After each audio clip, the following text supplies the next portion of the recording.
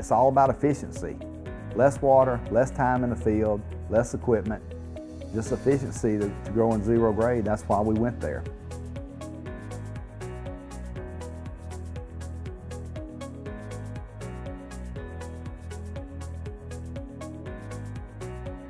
It is checking that field every seven minutes. 24 hours a day, no matter what's going on, it is monitoring that well and the water level in that field. It takes out all the human error.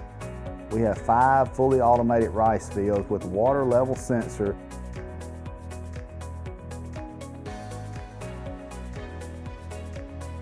We saved 4.3 billion gallons of water last year alone.